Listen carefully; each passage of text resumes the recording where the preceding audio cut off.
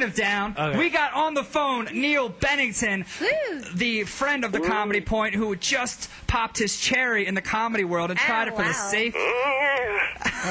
Congratulations. I Thank you. I did, and I'm very happy. I lasted longer than three minutes, so That's- you know I did pop my cherry. There oh, you go. Nice. And for everybody who's listening, uh, Neal Bennington, Neal B, he's actually one of the, the friends of the Comedy Point. He's now going to be a regular on our show. He called in. He now he's a celebrity blogger. He was at the Out uh, Music Awards last time he called in, and uh, last week you performed at uh, the, uh, the where did you perform at Eastville, and now you're performing at uh, New York Comedy Club. I performed at New York Comedy Club, and it was great. There was an amazing turnout, and it, you know, I wasn't sure again if I, you know, that feeling where you're not sure if you're going to bomb or not the first Right. time.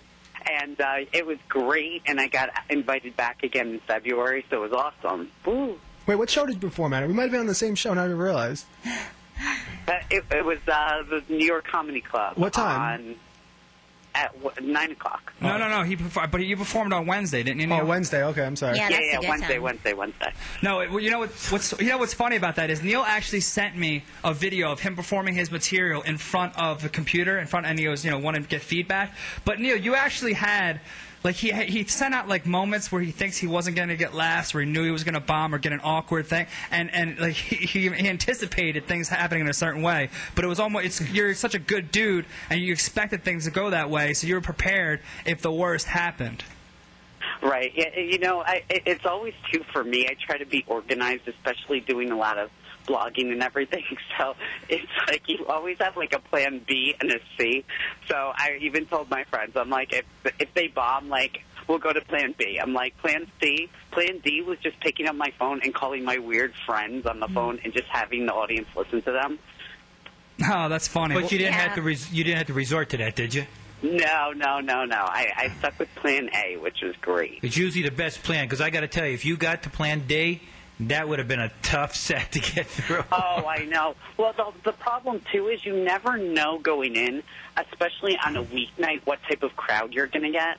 So that That's that was kind of my concern. Well, here, But here, I'll give you some. I'll give you some advice. You're going to go in, there, no matter what the crowd is. You got to be committed to what you're doing. So Yes. once you're up there, if you're into something, man, you got to you got to commit Oh, to right, it. You know? You still sell it and you go for it, but it's always harder, of course, when you're, you're into it and there's like a pin drop in the room. So you know, but it went well. It was great. Uh, Good. There was a great turnout. So you know, I It's thank all New York about Comedy Club as preparation, well. preparation, preparation.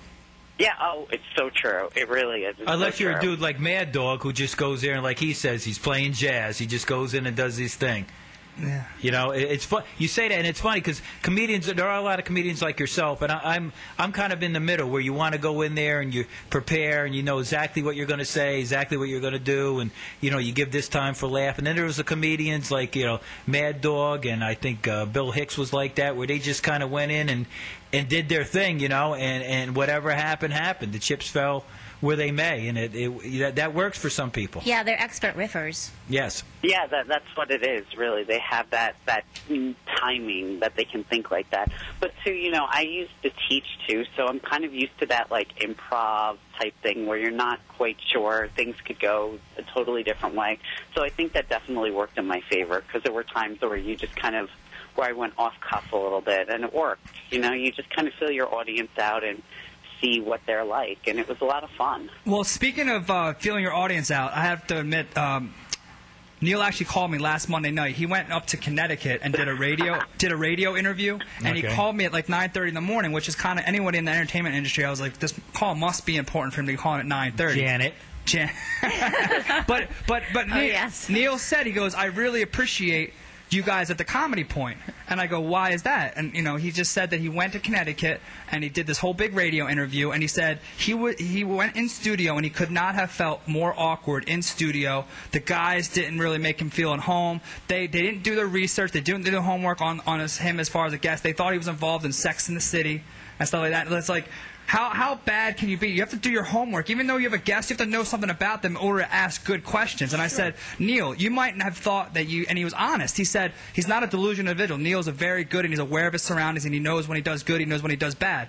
But he, but he's, I'm like, you you cannot blame yourself for bombing. I'm like, that is equally their fault, just as it is yours, because they didn't lead you into good things. Sure, Neal. I'm going to tell you a little something about myself and Joel. What about me? We're we're radio personalities. I don't know if, we've made that clear. I know I've said it several times on the air, but I think I think you going into an unprofessional studio like that now you now you see what I'm talking about. This isn't oh, easy. Oh, de- People, definitely. people definitely. think waking up at people think waking up at four o'clock in the afternoon and running up here to do a six o'clock show is easy. But but Neal, tell us a little bit about that. What happened? Okay, I won't name the radio station as per my wonderful publicist Renee told me, but I will tell you. Here, here's my plug. If you go to my blog, nealb.tv, that's www.nealb.tv, you will find the exact uh, radio station. But apparently, they reach like millions of people all over the place, all over the world. But when I got there, they did not do their research. They had a full bio of me, and I think they literally just looked at the first word they saw and they said, "Well, you know what? That's pretty good for us. So we're just going to say that's what you do."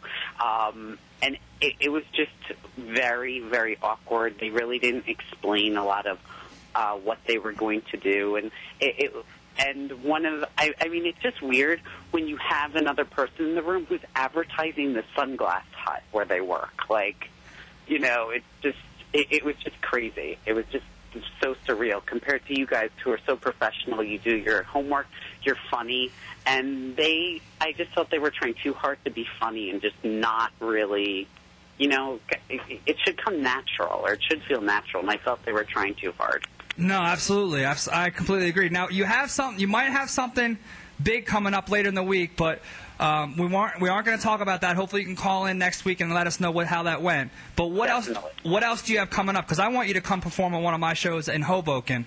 Um, what, what's your next show that's coming up, Neal?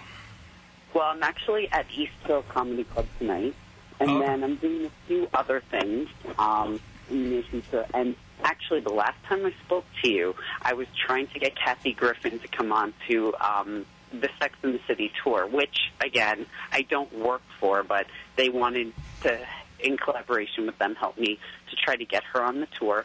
And the nice thing is we again, we have touched out with our publicists and people, but the cool thing was I actually got to meet her on the SVU set, which was like amazing in itself. So that was really cool.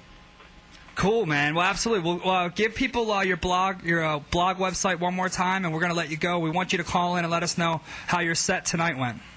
Sure, awesome. It's again www.nealb.tv. That's N E A L B dot TV. And again, guys, seriously, I love listening to you guys. I think before when I was listening about West Virginia and different things, I would have bombed that. So I'm so happy I didn't. I didn't have to do that.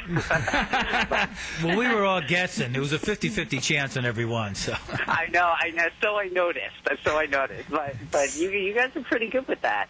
But you know, you guys are awesome. I love to always come and listen to you guys. So have a great rest of the night and have fun, guys. All right, Neal. Take care, man. Have a good Thanks, show tonight. Bye, Neal. good dude. Okay, thanks. Take it easy. Bye. I like that dude. I just like his whole vibe. Man, he's just he's uh, just like Janet. He's very positive, man. And no matter what you talk about, I mean, for him to call me and tell me how bad it went in Connecticut, I know it had to be super bad for him to even say one bad thing about it. Right, right. But he blamed it on himself. He actually said he bombed, and I'm like, no, you can't look at it like that, man. I mean, Well, it's a combination. It's like and it, it's like everything else. You know, you got you take what's given to you. Sometimes you're not given a lot, and you know you got to make do with it, and, and sometimes you just can't. You know, Yeah. you know we're, Where we was he performing? uh, with, uh, well, no, no, this was actually in studio on a uh, Connecticut Oh, radio station. radio. Yeah, He's yeah, doing so- exactly. He he was on a show doing exactly what you're doing right now. Oh, okay. But he wasn't having the fun that you're having right now. Yeah. Didn't get pizza before or after. I got Well, Joe, I just want to really congratulate you before we go to break.